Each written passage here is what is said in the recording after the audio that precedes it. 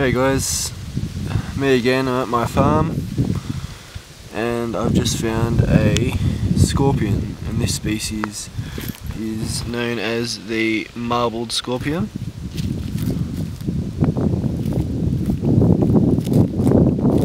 There he is. There, oh, there he goes. Uh, thanks for watching.